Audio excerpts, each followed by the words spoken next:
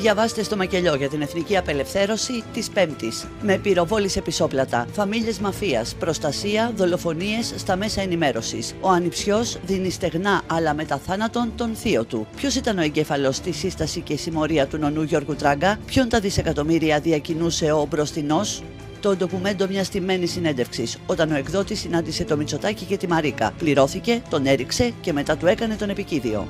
Κίνα, Ρωσία, Τουρκία. Σατανικό σχέδιο για να εξαφανίσουν τις Ηνωμένες Πολιτείες. Ταυτόχρονη στρατιωτική εισβολή σε Ελλάδα και Ταϊβάν. Δραματική ομολογία Κούλη. Έχασα, διαλύθηκα, πάω σε πρόορε εκλογές. Σύνδρομο ευνίδιου θανάτου ενηλίκων. Υποψίες για τα εμβόλια. Γιατί ξεψύχησε αβοήθητη η 22χρονη φοιτήτρια των Τεφά Κομωτινή Γεωργία Σολανάκη. Και έρευνα κόλαφος του Reuters για την αξιοπιστία συστημικών δημοσιογράφων και ειδήσεων. Μας ρήμαξαν στο ψέμα. Τους συγχαθήκαμε στο μακελιό για την εθνική απελευθέρωση. Γιατί η αλήθεια είναι η αλήθεια του λαού.